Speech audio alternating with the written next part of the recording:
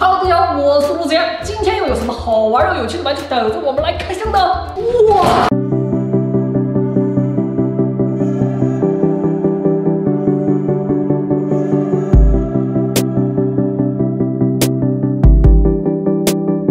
国宝魔刀千刃已被我收入麾下，从此之后，我将踏入我的刺客生涯，当一名孤独的刺客。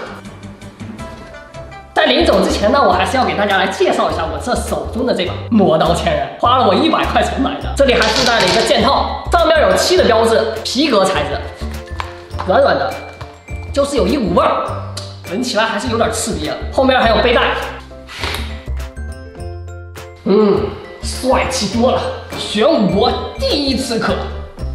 哎，嘿，有了这个剑套还是挺好玩的。就是味儿有点大，其他没毛病。出鞘，哇，一米长的磨刀切刃，咵，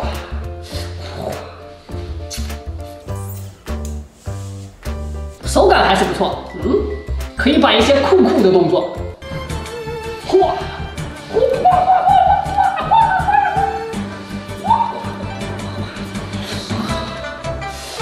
哇，凑近了，我们来看一下它整体的细节啊。材质都是木质的，也没有什么刀刃，所以玩耍起来是比较安全的。刀柄纹路清晰，色泽鲜明，握持也还不错。护手这里进行了一个加厚处理，这两个透明件应该是固定这个刀身和刀柄处的，使它可以衔接为一体啊。然后刀身，你瞧，全是这种碎片纹路，哦，它的色泽还是挺不错的，相当的漂亮。虽然它是木质的，但是呢，给人的感觉没有那么差。但是难免还是会有这种划痕出现，在插入刀鞘的时候很容易就划掉了。现在我们已经给它划了，你瞧这里，像这种皮革的刀鞘，其实保护的还是比较好的。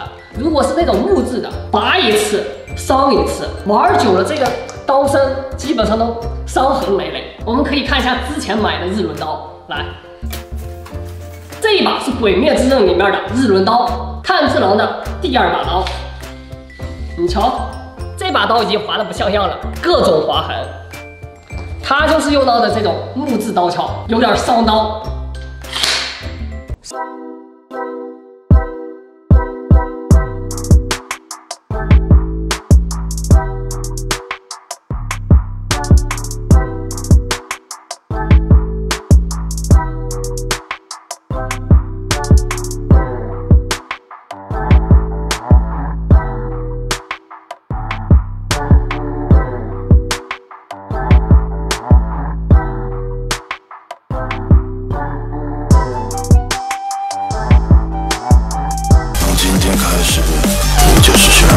случай, да.